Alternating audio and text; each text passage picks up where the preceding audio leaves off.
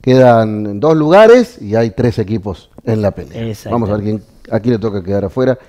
Que mejor haga las cosas, seguramente se meterá. Ojo, que si, perdón que, que siga, ¿no? Pero eh, si Tiro no gana y se da que gana centro o empatan y Sportivo, gana, también se sumaría, Sportivo de, local con 9. ¿Tienes razón? ¿eh? También Sportivo llegaría a 19, así que volvería otra vez Sportivo. Se podría dar como la conversación. Un, triple, cuatro empate. Así hay que ver goles, partidos entre sí, de todo. Bueno, eh, vamos a ver qué pasa. Ahora sí, un partido mm, que tuvo goles, incidencias, expulsiones. De todo pasó. Mira vos. vamos, a ver Porteña 9. Exactamente, nos vamos a ver al puntero. Esto se jugó viernes por la noche, ¿sí? Viernes por la noche, en el adelanto de la fecha. Porteña Asociación recibía al 9 de Morteros en un partido que eh, estuvo plagado de situaciones, ya lo vamos a ver, y con un golazo. ¿eh?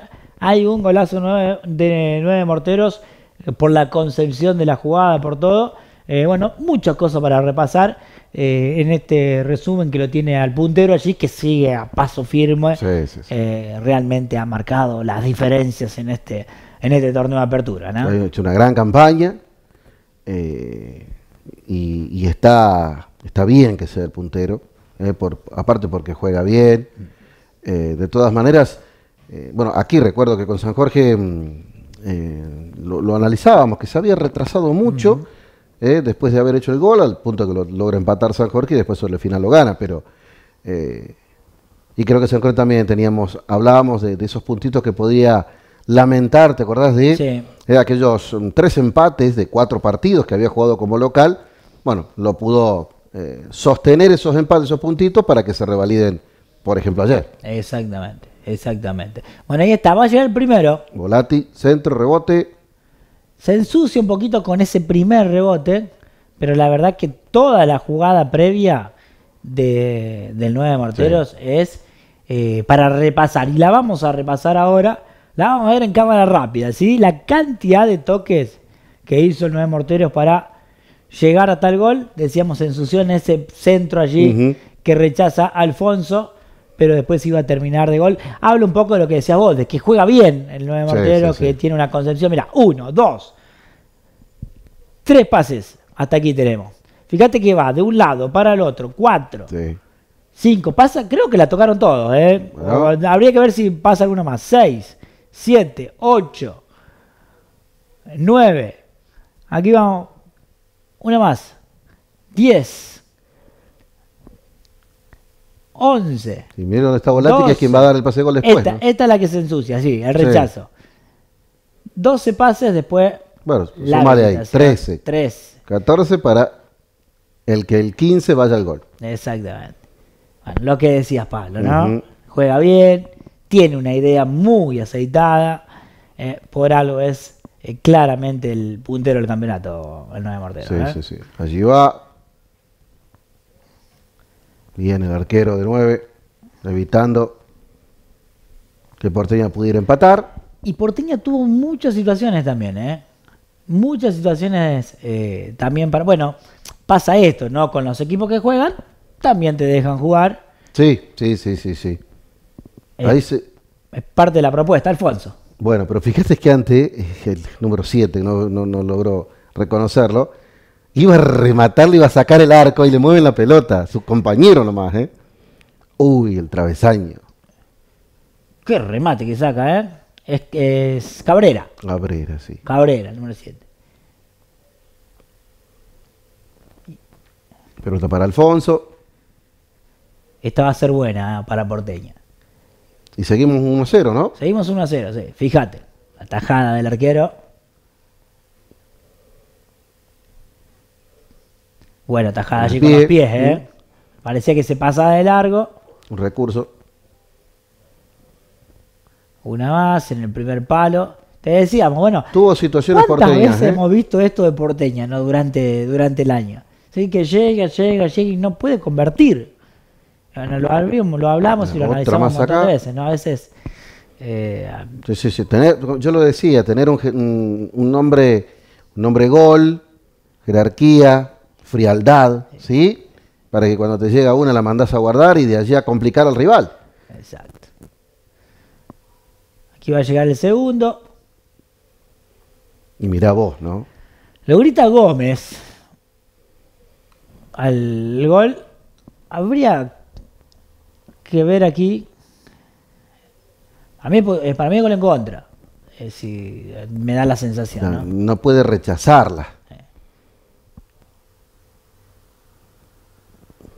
Y aquí vendrá el gol de Porteña, el descuento. Sí. Alfonso, de tiro libre. Bueno, yo creo que se abrió la barrera allí. Sí, se abrió, se pasó el arquero. Aquí iban a llegar las expulsiones. Eh, Bueno, entre Robledo y Camperi. Robledo que deja una patadita ahí sobre el final cuando se iba. Todos empiezan a conversar. Viene el árbitro. roja. Para Robledo, el primer expulsado. Vamos a tener varios expulsados. Y después, ahí está, bueno, la patadita que decíamos. Sí, sí, sí, sí. No sé si llega a pegarle tanto, pero bueno, tuvo la intención. Sí, sí, sí. sí y el sí. reglamento habla de De no dar. juzgar la intención. Exactamente. O intentar dar. Ahí está. Y la expulsión también para Camperi, porque Camperi lo había tomado en la anterior. ¿eh? Claro, y la gente no dirá, ¿por qué Camperi? Eh, por esto, mirá, mirá lo que hace Camperi. Piqui, le metió patadita. Sí, abajo ahí, sí, sí, cuando sí, ya sí. estaba parada la jugada. Por eso eh, Robledo reacciona también. Sí. Y, Bueno, eh, los y- dos afuera. y el árbitro hizo la se van los dos. No me compliquen la noche. Una para cada lado y se va expulsado. Una más para el 9, que llegaba Bravolati. Perusia respondiendo. Hasta aquí estamos 2 a 1. ¿sí? Sí. Partido que eh, seguía en juego para, para Porteña, ¿no? Y que lo vimos llegar en muchas oportunidades. Nos vamos al segundo, segundo tiempo. tiempo, sí. Bueno, allí te dijo que se había puesto picante la cosa. Sí, estaba 9 ganándolo, pero por la mínima. Con dos expulsados ya aquí en la primera etapa. Sí. Allí va intentando Porteña. Por allí 9 te va a dejar jugar, te va a ceder un poquito de terreno, pero para hacer esto después. Tomarte de contragolpe. 9 tiene la. Lo habíamos analizado ya en, en otra oportunidad, que en dos o tres pases mm, Sí, sí. está dentro del área. Y tiene, tiene jugadores muy rápidos, Sí, que saben precisos. manejar muy bien la pelota. Aquí va a haber un error en la salida de 9. Rechazó hacia adentro el defensor en esta. Y la iba a tener Toranzo. Se va alta por arriba. Pelota parada. Esta fue clarísima. Ay. Esta es muy clara.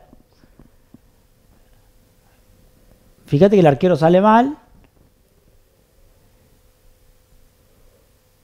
Y el Sí, que sí, sí, llega, y no llego a identificar quién es el que llega a desviarla. Eh, No llego a identificar quién, quién es. Pero tuvo muy clara esta partida, tuvo el empate. Tuvo el empate Porteña. Tuvo el empate, exactamente.